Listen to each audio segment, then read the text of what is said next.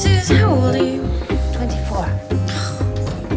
I'm 30 today. Oh my god. Danny, what, sorry? Could you spell that? You don't tell anyone, right?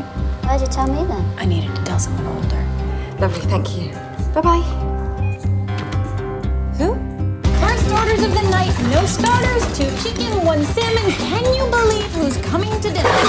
Virginia Woolf. Danny Huston. I love Danny Huston. As in the actor. As in the actor. He might love me. He's talented and he has empathy. You know, millions of lepers have empathy, but you don't necessarily want to sleep with them.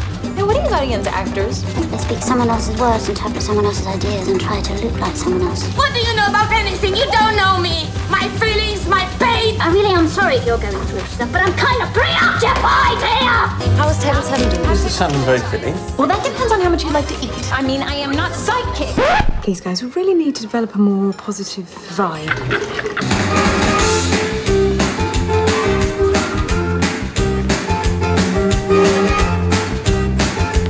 I just wanted to tell you all it's my birthday today. I'm 25. That is hilarious.